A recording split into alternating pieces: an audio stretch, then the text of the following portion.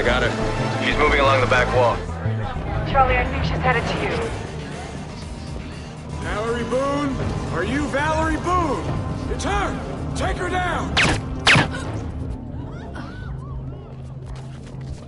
Alright, we got her! A spine sucking vampire.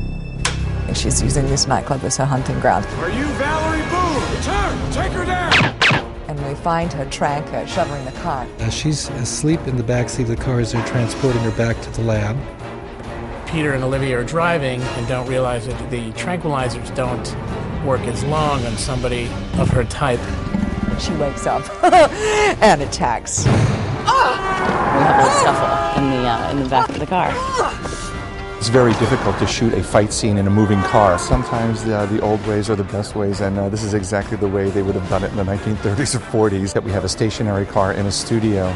We move the lights and we move the camera to simulate a car moving down a road. We can shoot the scene under a controlled environment. She comes back to life, tries to strangle Olivia with a pair of handcuffs. Really great role.